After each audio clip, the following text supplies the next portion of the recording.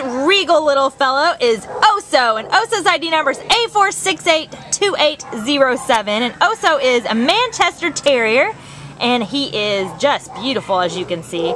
Um, he's about two years old. He actually came in as an owner surrender on March 6th because his owners moved to take little Oso with them, but we can't figure out why because he is just awesome.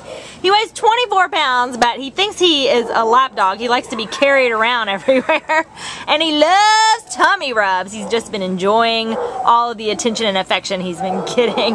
Um, he does need a little bit of leash training, but as you can see, he sits beautifully and he's very attentive and smart. And we think he'll definitely want to please his new family. And um, because he's so smart, we think he'll pick up things really quickly and really enjoy learning.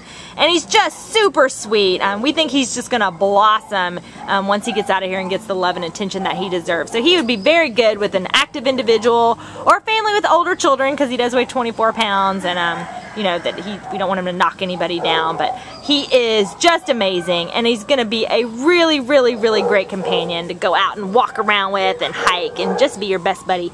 So come on down and meet Oso today at the Baldwin Park Shelter. Check out this regal fellow for yourself and you can give him some of these belly rubs. Right, Oso? Bye-bye, Oso.